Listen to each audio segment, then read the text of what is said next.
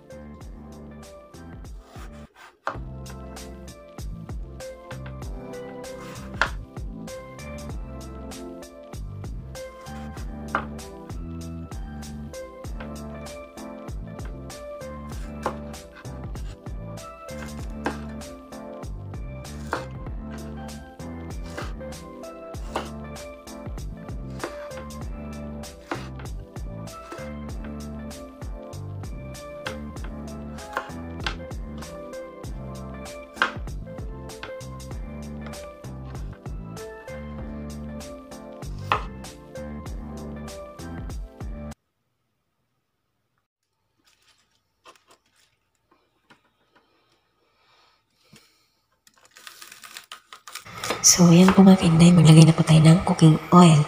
Tapos, hintayin po natin uminit mga kainday. Tapos, saka natin ilagay ang onions. At saka, ginger guys. And then, halo-haloin po natin. At hintay po tayo hanggang magiging brown po siya. Para mabango po ang ating niluto guys.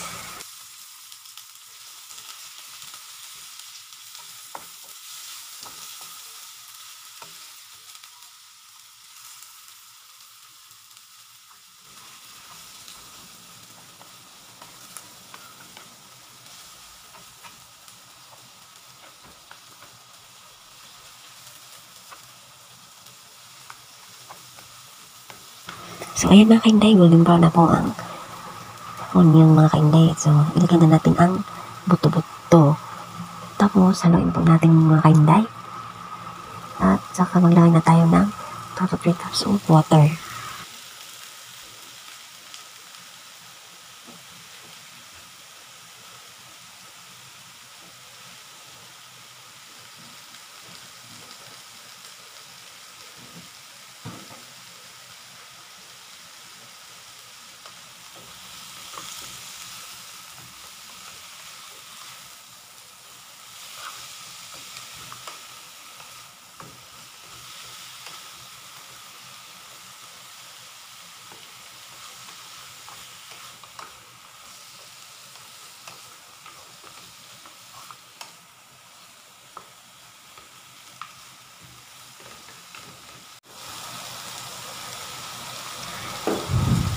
Tapos, ilagay na po natin ang kamatis mga kainday.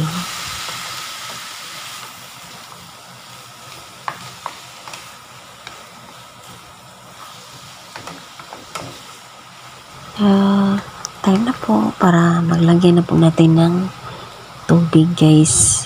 Ah, uh, 2 to 3 cups of water.